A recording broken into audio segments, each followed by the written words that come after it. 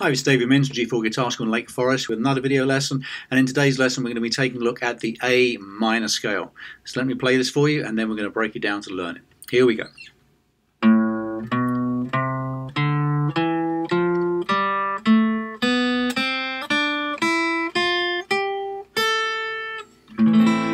That's our A minor scale. So this scale starts of the root note of A, and we're starting this with the open A string, number 5 string down here. So we have the open A string, followed by the notes on the second fret with our second finger, and the third fret with our third finger. So we have three notes on the A string, the open string, second finger, second fret, third finger, third fret. Okay.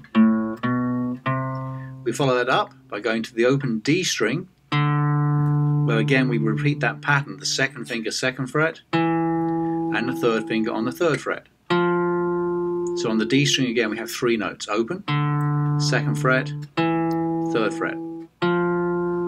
So then all together we have open A string, second fret, third fret. Open D string, second fret, third fret.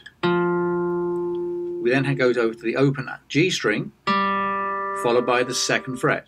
And that note is A, the second fret on, the G, on this G string, that's A, that's our first octave.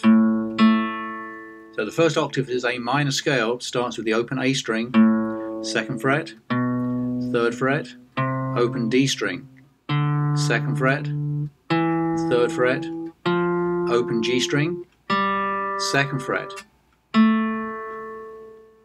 Moving on, we have the open B string, followed by the first fret on the B string, third fret on the B string. So the B string has three notes, open string, first fret, third fret. Okay, so for my A note here, second fret, third string, open B string, second fret, third fret. Moving on to the high E string, we have the open string, followed by the first fret, third fret, and then we slide up to the fifth fret. Okay, so we have four notes on the high E string. The open string, the first fret, the third fret, and the fifth fret. Takes us back to A. So our second octave, starting at the second fret, third string, for the note of A, open B string, first fret, third fret, open E string, first fret, third fret, fifth fret. Okay, there you have it. So starting from low E, low A string, let's play the whole thing.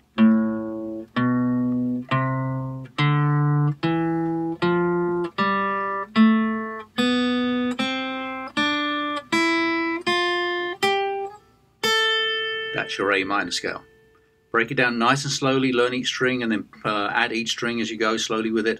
Work it to a very loose tempo to learn the pattern, and then take it to a metronome and start practicing to around 55, 60 to start with. If you have any questions, drop me an email, or we can talk about it in our lessons. Thanks so much. Bye bye.